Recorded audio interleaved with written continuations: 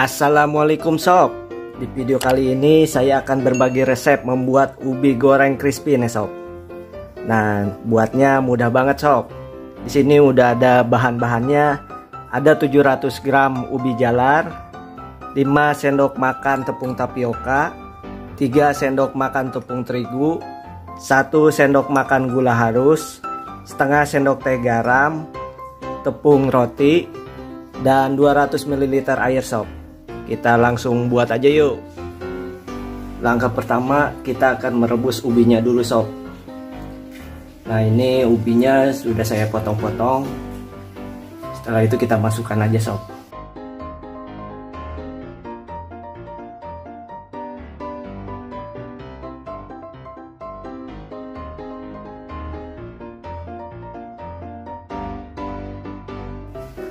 Lalu kita tutup sob kita tunggu sampai matang.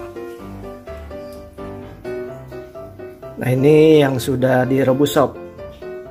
Sudah matang. Setelah ini kita haluskan ubinya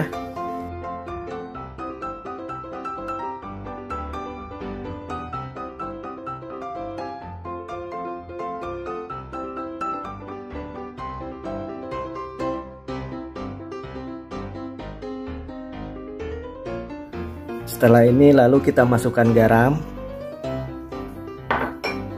gula halus, dan tepung tapiokanya sob. Lalu kita aduk lagi sampai semuanya tercampur.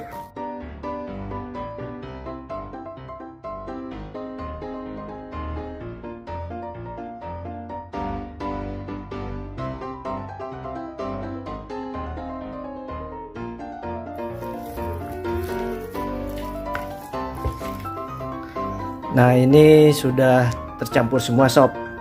Setelah ini lalu kita bentuk adonannya. Untuk membuat lapisannya Kita siapkan tepung terigu.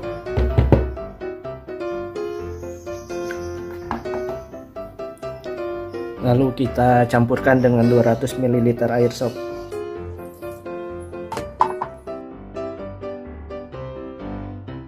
lalu kita aduk-aduk. Jangan sampai ada yang menggeridil sob. Setelah ini lalu kita bentuk adonannya sob. Ini udah dicuci tangan. Kita ambil adonannya.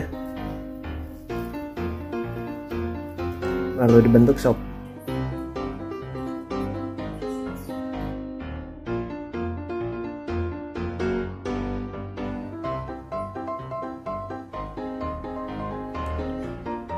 Setelah ini lalu kita celupkan.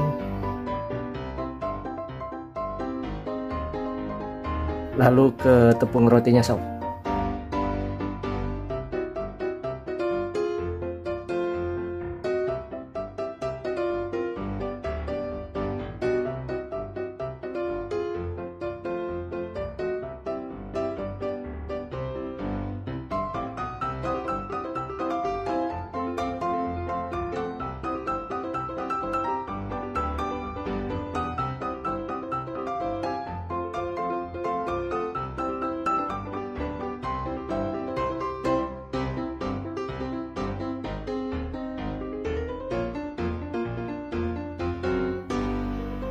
Nah ini udah semua sob. Setelah ini lalu kita diamkan dulu selama 15 menit lalu kita goreng. Mantap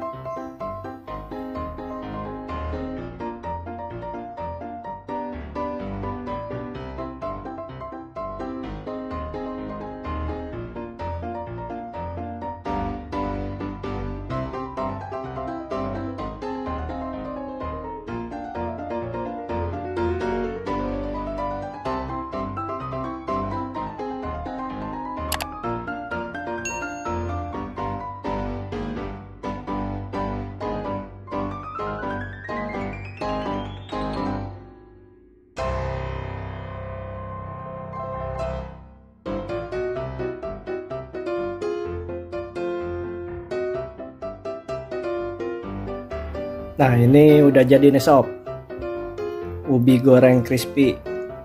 Garing di luar, lembut di dalam. Mantap sob. Bisa dicoba di rumah sob. Bisa juga buat ide jualan nih. Belum ada yang jual nih. Oke, sampai di sini dulu. Sampai jumpa di video resep berikutnya. Wassalamualaikum warahmatullahi wabarakatuh. Ciao.